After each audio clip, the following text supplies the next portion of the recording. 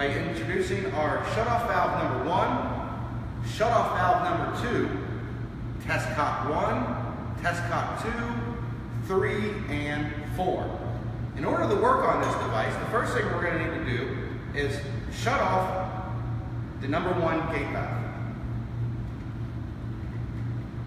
Once we're shut off, I'm going to shut off the number two. Once we're shut off, all the water is now contained inside this device. We're going to need to relieve that pressure. Step one, open up test cock number two, number three, and number four. Now that we've got all the pressure relieved out of this system, we are going to be able to open this device safely without any water shooting everywhere. First thing I'd like to do is clean off my device. Once we're nice and clean and all the debris has been removed, I'm going to remove test cock number three.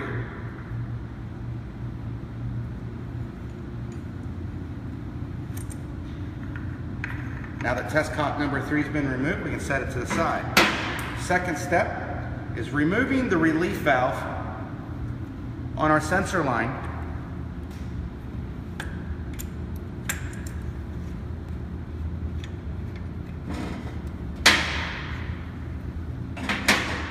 That that's been removed, it's a very simple process on removing our sleeve and sliding it back. I take a number three Phillips head screwdriver, insert it through the hole,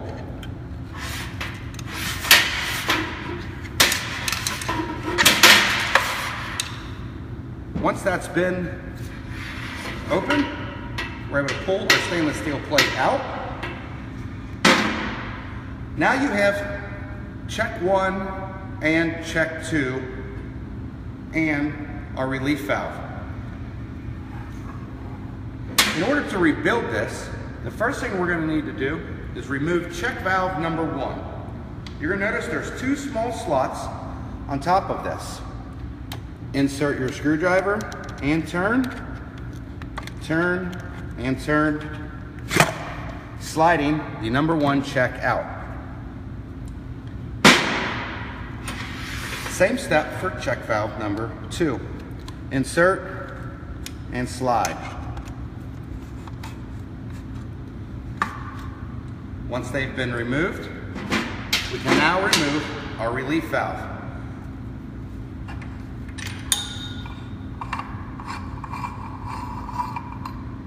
Relief valve's been removed. Now we can go over and get started on rebuilding these checks and the relief. Now that we've got everything removed from the device, we're gonna come over here to our table and we're gonna work on the proper steps to take this apart and get it rebuilt for you.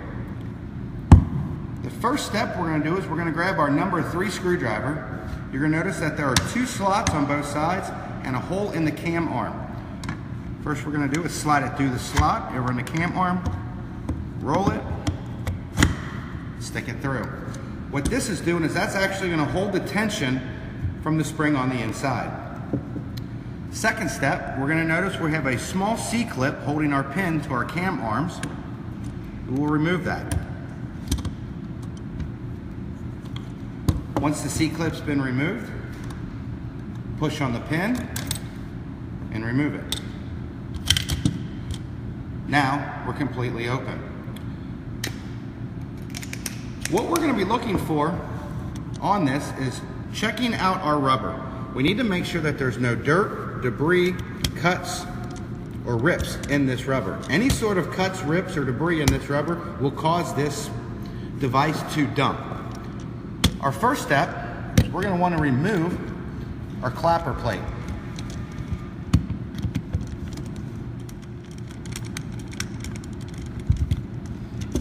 Once all five screws have been removed, we're able, we're able to remove our plate. Next step is going to be removing the rubber out. Take a small screwdriver, get underneath, that rubber will pop out.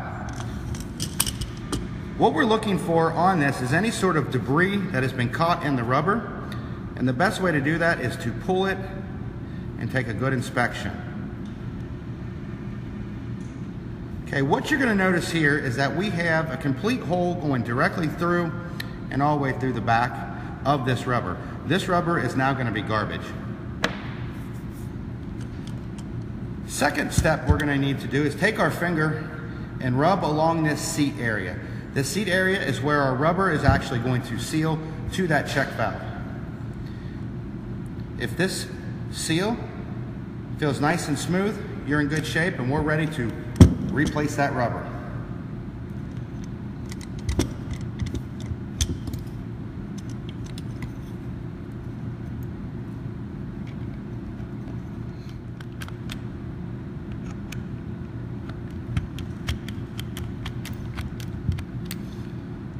Now that our rubber has been replaced, we're going to take our cam arm, place it back into the assembly. Sorry.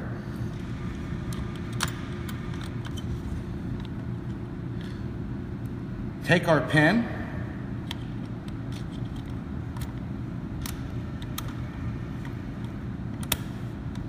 slide it back through. Take our C-clip,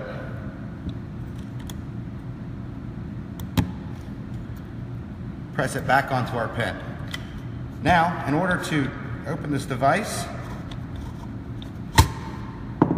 You'll pull out a number three screwdriver. You'll notice that the tension drops back onto the check itself, and we are ready to go.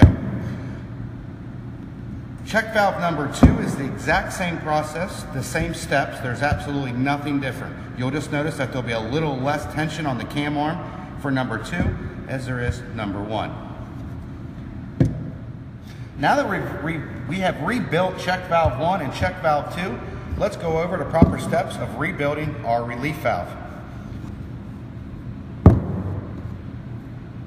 You need an Allen wrench. Remove the four screws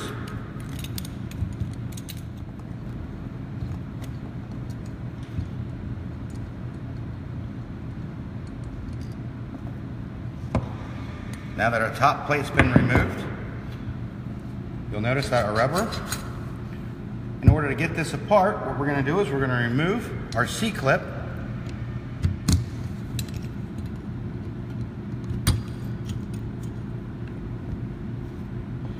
Once our C-clip's been removed, we'll pop this straight out.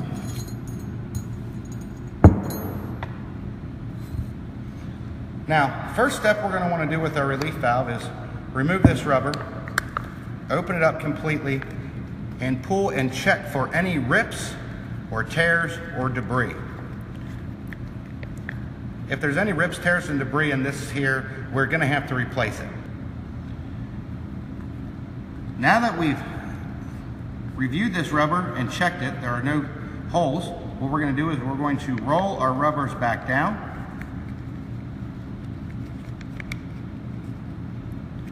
Noticing that the small notch is on the inside, the small notch will go right back inside there. Replace your spring back into your relief body.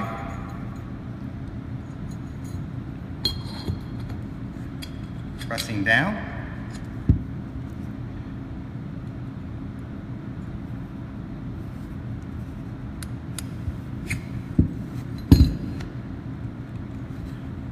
Your relief valve is now rebuilt.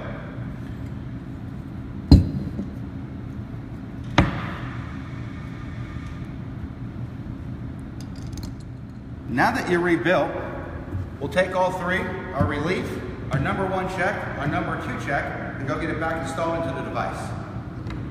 All right, now we're back here to the device. Let's get this thing rebuilt. Step one, you're gonna take your number two check. You'll notice that the number two check, when pressing on this cam, has a lot less tension than our number one. So if you go and get these confused, you're okay. Pull back and pull back. This is number two. Notice this O-ring. This is one thing we will have to inspect.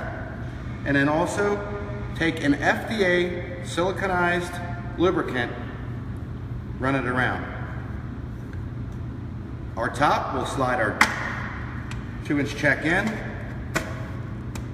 It's in. Same procedure with check valve number one. Make sure you seal and lubricate your O-rings.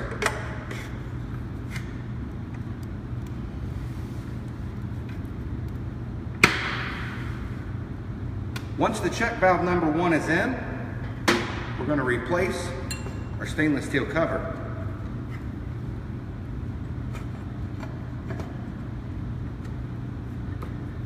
Cover's been replaced.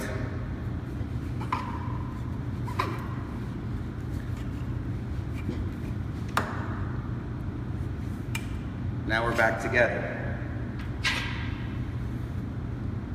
Your relief valve we're going to screw on from the bottom. This has an O-ring seal, so there's no reason for Teflon tape.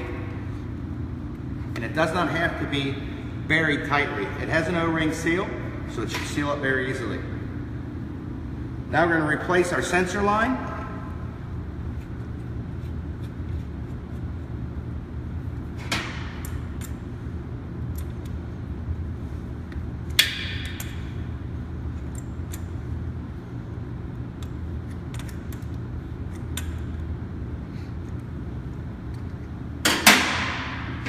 and replace our number three test cock. Again, it has an O-ring, so use an FDA approved siliconized lubricant.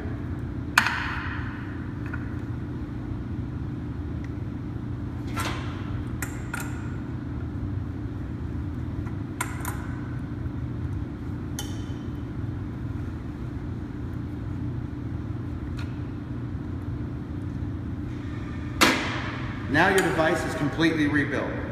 The next step you're going to take, close test cock four, close three, and close two. Once all of our test cocks are closed, we're going to slowly open up shut-off valve number one. Open up test cock two, relieve our air. Three, relieve our air, and four.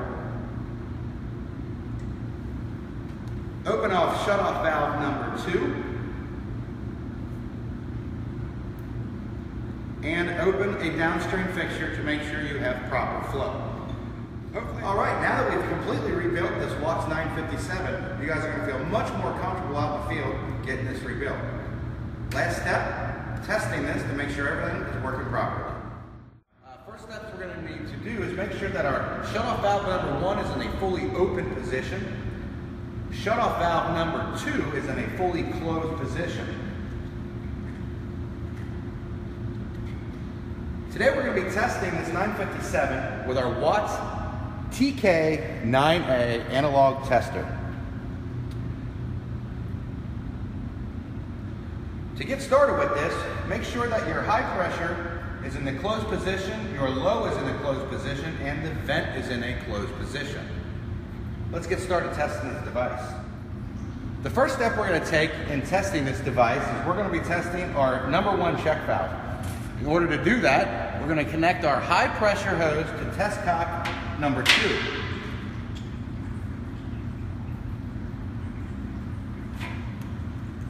Connect our low pressure hose to test cock number three. Open test cock three. Open test cock two. We're going to open our vent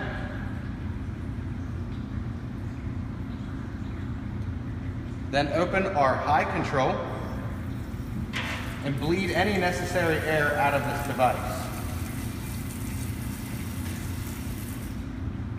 We will open the low control valve and bleed any air out.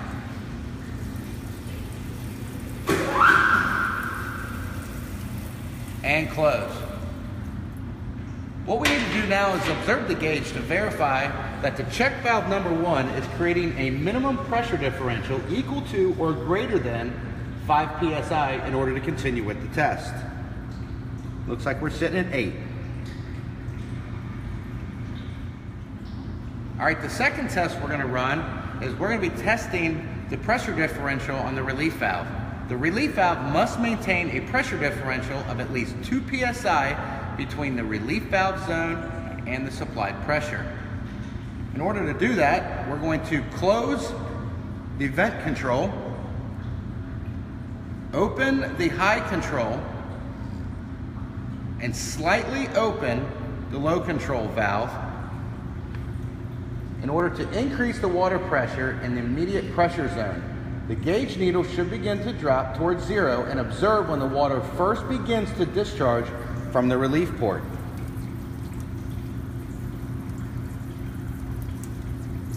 Observing the gauge reading at which the discharge first occurs and record the PSI reading shown on the gauge. Record the relief valve as passed if the water discharges at 2 psi or greater. Compare the gauge reading obtained from check valve number one and the relief valve. The check valve number one PSI must be 3 psi or greater than the relief valve PSI for the check valve number one to pass.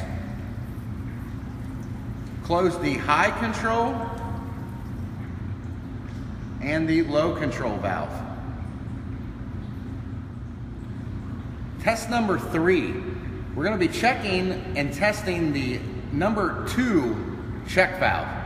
The check valve must hold tightly against back pressure.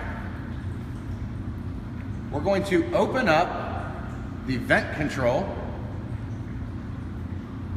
open up the high control valve to bleed out any air. Close the high control valve, open the low control valve and bleed out any air. Close the low control valve. We're now going to connect the vent hose to test cock number four.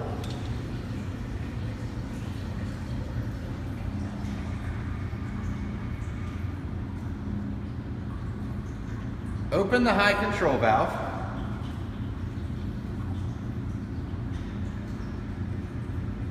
While observing the gauge, we're going to open test cock number four. The gauge needle may drop slightly, then should remain static if the number two check valve is holding tightly.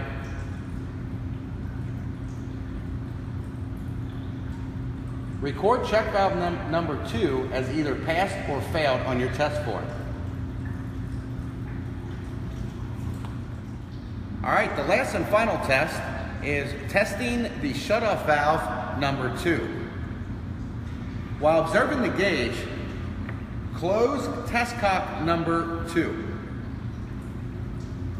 The gauge needle might dry, drop slightly but should remain static if shutoff valve number two is drip tight. If the gauge needle continues to drop towards zero, then the shutoff valve number two is leaking. We'll also be opening up a downstream fixture from the shutoff valve number two to create flow and accurate, accurately determine if the shutoff valve number two is holding tightly. Record shutoff valve number two as passed or failed on your form. If shutoff valve number two is leaking, then you must repair it or replace the valve and repeat all tests. Open up shutoff valve number two.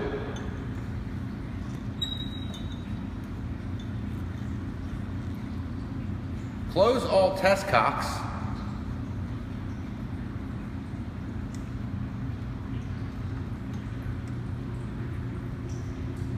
Remove the high. low,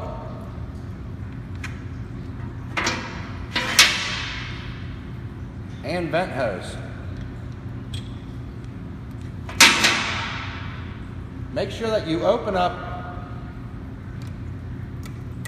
all your controls on your Watts TK9 tester in order to get rid of all the water. Make sure that the water is onto the building.